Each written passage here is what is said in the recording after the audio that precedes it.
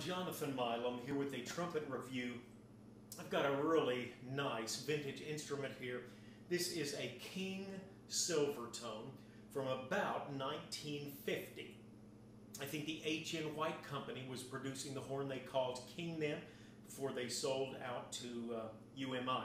At any rate, um, they put out a really nice horn. Uh, I've read that one of the leading trumpet manufacturers in the United States was shown a King Liberty one time, an old horn, and he looked at it and said, that's the best trumpet that was made in the 19th century. I've had a lot of fine horns, had a lot of nice Conns. Really admire their craftsmanship, and certainly they were putting out a very fine instrument, as was King. This particular horn, of course, it is called the Silvertone, and the King Silvertones had a 100% sterling silver bell. Now, the sterling silver is definitely heavier. The last couple of trumpets that I've demoed, I think one was a uh, Hawks made by Kanstul. It was a French Besson, was about 36 ounces, if I recall correctly. I've got a Yamaha 6335 HG2, 36 ounces, within just a fraction of weight.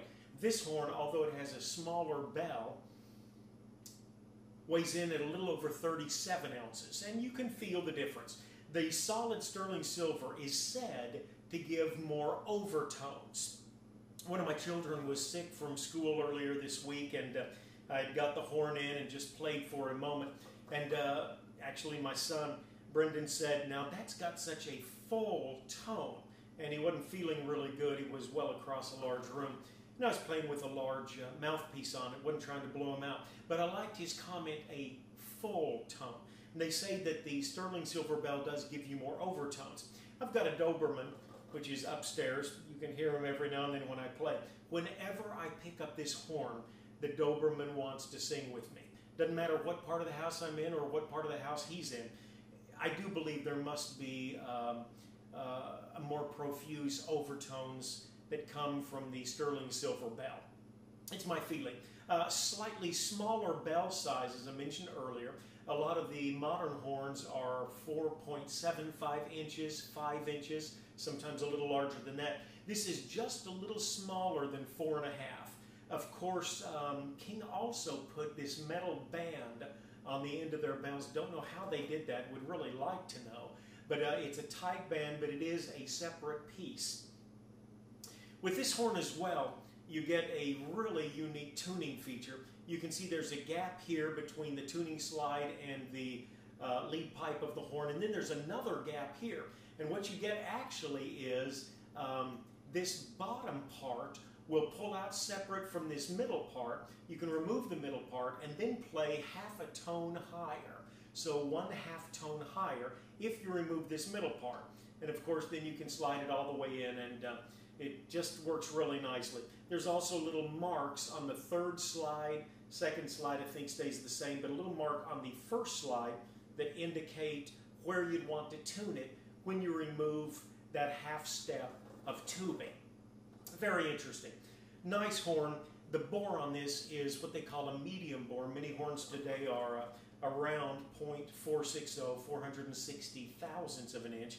This is a little smaller, 448 so just under 450 thousandths of an inch. Um, 11 or 12 thousandths of an inch smaller than the medium large bore. They did call this a medium bore.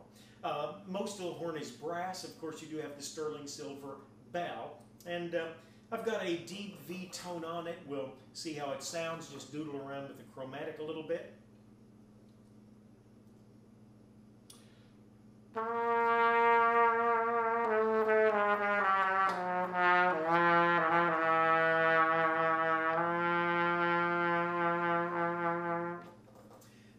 Full tone, even though it's a medium bore, very, um, very pleasing low tone.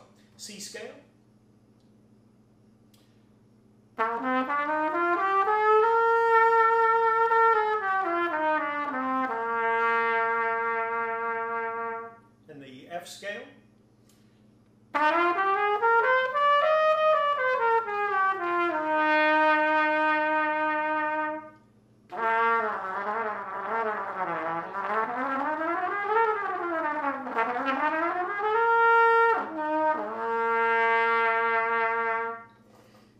play just a, a, few lines of a little, uh, little song.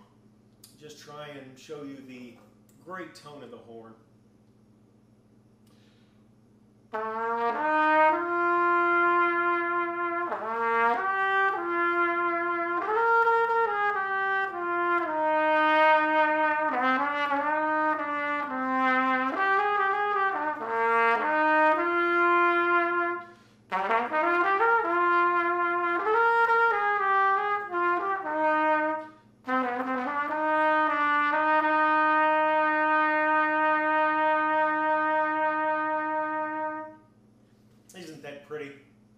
Wonderful trumpet, King Silvertone.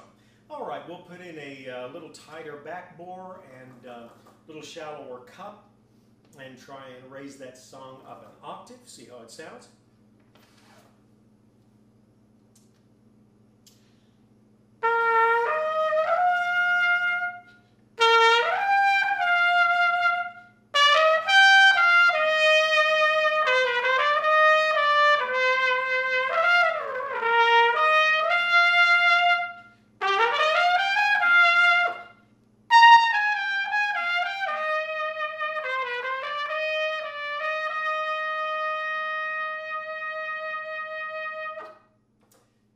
Trumpet.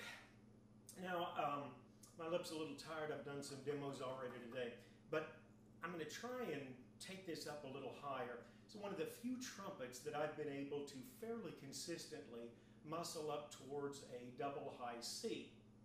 And uh, it's earlier in the day than I like to play but we get sunlight and I like that. And uh, my lip's are a little tired, so I probably won't be able to go that high. But um, just one of the easiest horns to control that I can remember um, playing.